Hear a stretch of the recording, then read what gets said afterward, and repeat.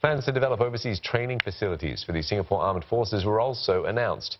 In Australia, its facilities in Shoalwater Bay will be completed by 2024, while another training area in Greenvale is set to be ready four years later. And the combined training area is 10 times the size of Singapore. Up to 14,000 personnel, along with 2,400 vehicles, can be deployed over a span of 18 weeks each year. The SAF can conduct integrated air-land training at, at a brigade level, and the area will allow the Army and Air Force to train together and perform live firing exercises, even in an urban environment. Details of an Air Force training detachment in Guam were also announced.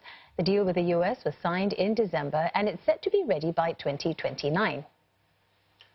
The airspace there is more than 80 times the size of Singapore. The RSAF plans to deploy its F-15s, F-16s and supporting assets. The Air Force can conduct larger-scale, more complex and realistic air-to-air -air and air-to-ground training and can be redeployed quickly back to Singapore when required.